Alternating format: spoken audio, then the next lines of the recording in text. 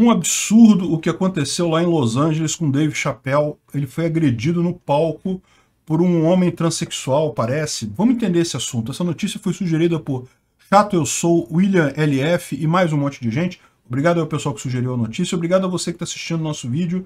Se você gosta do nosso conteúdo, por favor, deixe o seu like e se inscreva aqui no canal, né?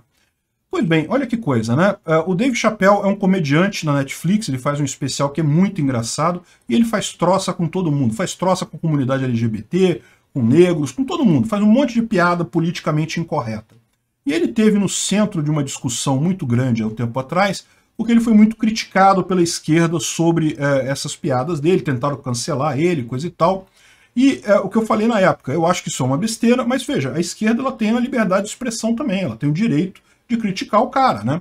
Da mesma forma que o Dave Chappelle tem o direito de falar as palavras, as piadas dele lá, você pode não gostar da piada dele, você pode gostar, eu particularmente gosto de piada, mas enfim, cada um tem seu gosto, você pode não gostar, e aí é direito seu criticar o cara também, é o que eu falo para vocês, eu acho que boicote é uma arma libertária legítima. Ah, você não gosta do, do, do Dave Chappelle, tá reclamando, quer reclamar com a Netflix para cancelar o Dave Chappelle, é o seu direito fazer isso. E a Netflix pode cancelar o cara? Pode ser que cancele o cara, né? Faz parte lá. Acho, acho que no final das contas acabou cancelando o, o especial dele lá na Netflix. Eu não sei dizer como é que ficou essa situação, até porque a peça dele, é, a peça dele se chama Netflix is a joke, ou seja, Netflix é uma piada e coisa e tal. Então, beleza, olha só, da mesma forma que o Dave Chappelle tem liberdade de expressão de falar a besteira que ele quiser, o pessoal da esquerda tem a liberdade de expressão também de reclamar, de pedir as coisas absurdas que eles querem, coisa e tal.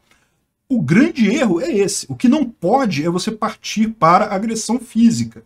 Agressão física é que não pode. O resto, no mercado, tudo se ajeita. O Dave Chappelle, ah, perdeu o especial dele na Netflix? Eu nem sei se perdeu, tá, gente? Eu não, eu não acompanhei como é que ficou esse negócio no final das contas. Mas se tiver perdido, não faz diferença. Ele tem a, a, carreira dele, vai ter outros lugares que vão querer chamar o cara. No final das contas, esses canceladores, eu já falei, essa, essa hipótese de cancelamento é uma coisa que não tem futuro. Porque se você começar a cancelar todo mundo, a, a, você dá força para o concorrente. O concorrente traz aquele, aquele é, artista para lá, ou traz aquele influencer, ou aquele youtuber e coisa e tal, e pronto, você cria concorrência no mercado.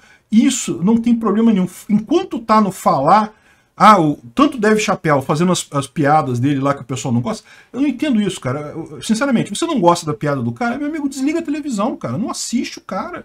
Vai assistir outra coisa. Tem um milhão de canais aí no, no YouTube, um milhão de, de alternativas. Se você não gosta do tipo de piada que o cara faz, se você se sente ofendido com isso, muda de canal, vai ver outra coisa. Mas não, o pessoal reclama, reclama, não sei o que, ela tem que cancelar o cara, cancelar ele. Acho um absurdo isso daí. No final das contas, é, é, acho um absurdo, mas é aquilo que eu falo, eles têm o direito de fazer isso. É uma coisa que para mim não tem lógica nenhuma, mas eles têm o direito de fazer esse tipo de coisa. Enquanto está na palavra, você faz. A grande, o grande problema dessa confusão que a esquerda gosta de fazer, chamando é, fala de agressão, é isso, porque aí no final o pessoal confunde uma coisa com a outra.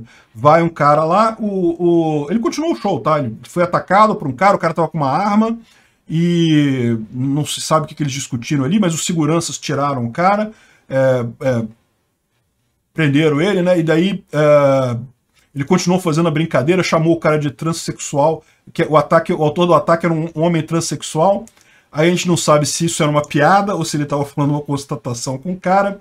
E aí depois o, o, o Chris Rock foi chamado no palco também e perguntou, era o Will Smith?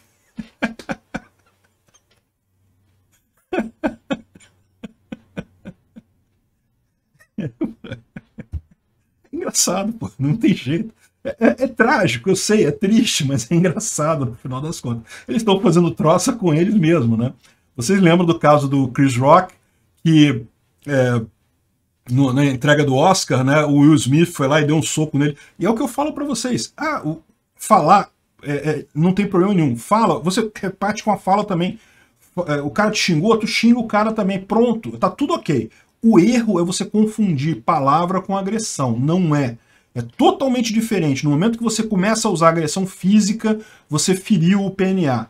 A única situação é quando você tem uma ameaça imediata, factível e real. O cara apontou uma arma para você e falou: me passa o dinheiro ou eu vou atirar em você. Isso aí é uma agressão imediata. Isso aí é uma agressão na, na, ética libertária, por quê? Porque, embora tenha sido só palavra, o cara tem claramente uma ameaça imediata naquele momento contra você. Não pode ser ameaça daqui a 10 anos, não pode ser ameaça depois de coisa. Nada disso justifica você usar violência. Não pode ser ameaça que dependa de um monte de fator. Ah, mas se chover e se ficar molhado, e se depois der sol, e aí eu posso sofrer uma gripe, então isso está me ameaçando. Não, não tem isso.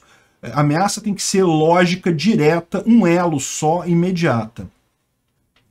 Enfim, muito engraçada a piada do, do, do Chris Rock nessa história toda. Isso que eu acho que é o grande problema da esquerda, de confundir palavra com agressão porque daí você tem os militantes aí que vão acabar fazendo esse tipo de coisa. Não é aconselhável. De novo, criticar pode criticar à vontade, falar, todo mundo pode falar à vontade. Usar agressão direta é que não. Obrigado por assistir o vídeo até o final. Além de curtir, compartilhar e se inscrever no canal, considere se tornar patrocinador com valores a partir de R$ 1,99 clique no botão Seja Membro abaixo para saber as condições e vantagens de patrocinar o canal. Mais informações sobre o nosso projeto, visite nossos sites indicados na tela.